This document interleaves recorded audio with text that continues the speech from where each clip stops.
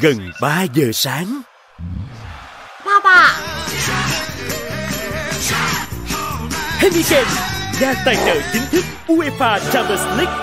Nâng Heineken vì phạt đích thực.